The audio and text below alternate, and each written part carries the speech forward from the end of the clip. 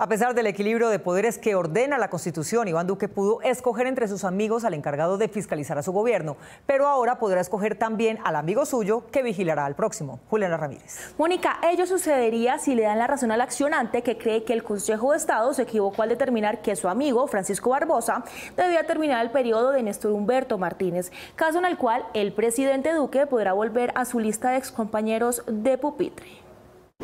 Una acción de tutela que podría reconsiderar el periodo de cuatro años que dejó en firme el Consejo de Estado del fiscal Francisco Barbosa llegó a la Corte Constitucional. En el marco de una prelación que inmediatamente tengo de poderle como segundo cargo más importante de esta nación. Con la tutela se busca revocar la decisión de febrero de este año en el que el Consejo de Estado ratificó que el periodo de cada fiscal es personal, es decir, que sin importar la fecha en que se posicione el funcionario, siempre su periodo será de cuatro años. Este concepto podría cambiar en la Corte Constitucional. Esta fiscalía ha dado muchísimos resultados en el marco del confinamiento. El despacho al cual le corresponde hacer el análisis es el de la magistrada Diana Fajardo, quien se declaró impedida debido a que su cuñado, Carlos Medellín, es el abogado del fiscal Barbosa en este caso. Que tienen en el fiscal general un amigo que tienen en el fiscal general una persona que les da la mano.